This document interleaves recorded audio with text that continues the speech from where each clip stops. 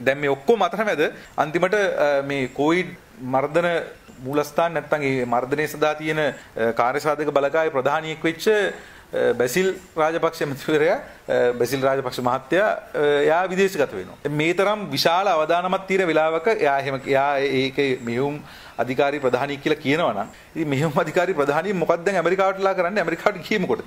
ඉතින් ඒ නිසා පැහැදිලි මේවට තියෙන වගකීම මොන වගේද කියලා. ඒ නිසා අපි නැවත නැවත අවධාරණය කරන්නේ මේක තවදුරටත් වසංගතයක් නෙමෙයි මේක කොවිඩ් අපරාධය ජනතාවට එහි අපරාධයක් මනුෂ්‍යත්වයට එහි අපරාධයක් පාස්කු ප්‍රහාරයේදී වක්කීම් විරතු වැඩ කරපු ආකාරයේ හැසිරීම තමයි මේ ආණ්ඩුව දක්වන්නේ. ඒ නිසා අපි මේ සියල්ල හෙලා දකිනවා. ඒ වගේම අපි බලාපොරොත්තු වෙනවා හෙට අපි පෙරටුගාමි සමාජ පක්ෂ විදියට අපි මේ සම්බන්ධය අපිට සම්බන්ධ කරගත යුතු සියලු ප්‍රජාවන් අපි සම්බන්ධ කරලා මේ සම්බන්ධයෙන් අපි උපාය මාර්ගික වැඩපිළිවෙලක් කොවිඩ් සඳහා වෙච්ච උපාය මාර්ගික වැඩපිළිවෙල සකස් කරන්න පහුගිය දින කිහිපය තුළ කටයුතු කරා. අපි බලාපොරොත්තු වෙනවා හෙට ඒක රටට ඉදිරිපත් කරන්න. ඒ වගේම හෙට අපි හෙටින් පස්සේ බලාපොරොත්තු වෙනවා මේක අදාළ ආයතන වල ඉදිරිපත් කරන්න. මොකද අඩුම තරමේ දැන් මේ බහුභූත කරන එක වෙනුවට මෙන්න මේ ටික කරන්න කියලා කියන්න කවුරු හරි ඕන. දැන් අපි දන්නවා මේ රටේ පාසල් පද්ධතියේ අධ්‍යාපන ඇමති කෙනෙක් ඉන්නවා. අධ්‍යාපන ඇමති ඉස්කෝල අරන දවස කියනවා වහිනි වහන දවස කියනවා. මරු අධ්‍යාපන ඇමති. නියමයි. මේ අධ්‍යාපන ඇමතිට තේරෙන්නේ දැන් අවුරුදු එකහමාරක් තිස්සේ ඇත්තටම ගත්තොත් එහෙම පාස්කු ප්‍රහාරයෙන් පස්සේ මේ රටේ පාසල් දරුවන්ගේ අධ්‍යාපනය බිඳ වැටලා ඒකට උත්තර හදලා තියෙන සූම් වලින් උගන්වන්න. සූම් මේක දැන් අඩුම් තරමේ මේක කියලා දෙන්න කවුරු හරි නැද්ද දන්නේ. ඒ කියන්නේ මේ උගෙන ගන්නවා කියලා කියන්නේ මේ මොන හරි දෙයක් කරන එක නෙමෙයි පොත්පත් ටික අරගෙන. ඉස්කෝලේ කියලා කියන්නේ පාසල කියලා කියන්නේ දරුවගේ පෞරුෂය වර්ධනය කරන වෙනම ව්‍යුහයක්. එතකොට ඒකට විකල්ප යෝජනාවක් ආවේ නැත්තේ මෙච්චර කාල. දැන් අපි ඒකට විකල්ප යෝජනාවක් ඉදිරිපත් කරනවා හෙට. එතකොට ඇයි විකල්ප යෝජනාවක් නැත්තේ? ඇයි ආණ්ඩුවට මේකට වැඩපිළිවෙලක් නැත්තේ? ඉතින් මේකට උත්තරේ සූම් මීට්නේ සූම් වලින් උගන්නන එකද?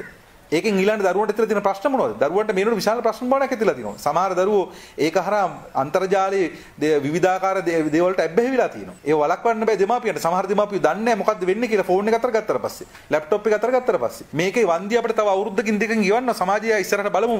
ඒකේ වන්දි අපිට ගෙවන්න වෙනකොට කොහොමද ගෙවන්න වෙන්නේ කියලා. ඉතින් එවැනි මහා විශාල වේසනයක් තියෙනවා. මෙහි ඇමතිවරු තම තමන්ගේ පාඩුවේ තම තමන්ගේ දේවල් ටිකක් කරගෙන ඒ විදිහට ඉන්නවා. ඊළඟ ඡන්දෝල්ට ලෑස්ති වෙනවා. ඉතින් මේ වසංගතයක් ඉස්සරහ අපිට අපිට පේනවා මේගොල්ලෝගේ වක්කීම් විරහිතභාවය. ඒ නිසා අපි පැහැදිලිවම අපිට වක්කීමක් තියෙනවා. අඩුම තරමේ අපිට තිබෙන තොරතුරු අපිට තිබෙන කරුණු දත්ත සහ අපිට වාර්තා වෙලා තියෙන දේවල් වලට සාපේක්ෂව මේ වෙලාවේ කළෙද්දී සම්බන්ධ මොන හරි අදහසක් සමාජයට ලබා දෙන්න විවේචනෙන් ඉදිරියට ගිහිල්ලා. ඒ නිසා අපි විවේචන විතරක් නෙමෙයි හිට බලාපොරොත්තු වෙනවා. මේ මෙන්න මේක සඳහා වෙච්ච මාර්ගසිතීමක් රටට ඉදිරිපත් කරන්න. අපි මේ මාර්ගසිතීම ඉදිරිපත් කරන එකයි ඉන්නේ. මේ මාර්ගසිතීම මත පදනම් වෙච්ච දැවැන්ත විරෝධතා ක්‍රියාවලියකට අපි අවතීර්ණ වෙනවා. මොකද මේ රටවල් වහලා කටවල් වහලා කම්පැනි ඇරලා ගාමන්ට් ඇරලා මිනිස්සුන් මරන්න දාලා ආර්ථිකය දුවලා දේශපාලඥයෝ හැංගිලා මේ යන සෙල්ලම අපි දන්නවා මේක මේක ඇවිල්ලා මේ වසංගතයට කවුරුත් හැමෝම මුණ දෙමු කියලා එහෙම එකක් නෙමෙයි මේ යන්නේ. උඹලා වසංගතයට මුණ දීපල්ලා අපි වසංගතයෙන් හම්බ කරගන්නවා. අපි වසංගතයෙන් දේශපාලන වාසි ගන්නවා. අපි වසංගතයෙන් ජීවත් වෙනවා. ඒක තමයි මේ යන්නේ. ඒ නිසා ඒක හෙළිදරව් කරන්න සහ ජනතාවගේ පැත්තෙන් ඉඳලා මේ සඳහා කටයුතු කරන්න යම් හෝ මැදිහත් වීමක් අවශ්‍යයි. ඒකට අපි අපේ මට්ටමින් අපි මැදිහත් වෙනවා අපේ ප්‍රමාණයෙන්. අපි ජනතාවට ඉල්ලා හිටනවා දැන් මේක ඉස්සරහ අපිට වටපිට බල බල ඉන්න එපා. මොකක් හරි සමස්ත වැඩපිළිවෙලක් සමග ඒකාබද්ධ වෙන්නේ නැත්නම් අපිට මේ වාර්තාවේද මරණ ඇත්ත ඉලක්කම නෙමෙයි මේ වාර්තා කරන්නේ පැහැදිලිවම ඒ ඉලක්කම වෙනස් කරලා වාර්තා කරන්නේ ඒ නිසා තව මේ දැන් ලෙඩ්ඩු 800ක් වාර්තා වෙද්දි ලෙඩ්ඩු 700ක් වාර්තා වෙද්දි රෝහල්ගත වෙච්ච අය තමයි දැන් අපිට මරණ විදිහට වාර්තා වෙන්නේ. ඒතකොට ලෙඩ්ඩු 2000ක් 3000ක් වාර්තා වෙනකොට රෝහල්ගත වෙන අයගේ මරණ වාර්තා වෙන්න අපිට ඒ ඒ තත්ත්වේ වාර්තා වෙන්න තව සති දෙක තුනක් යනවා. අපි කවුරුත් කැමති නෑ. නමුත් ඒක තමයි යථාර්ථය. ඒ නිසා මේක තව මේ රැල්ල වැඩි වෙන පැත්තට තමයි ගමන් කරන්නේ.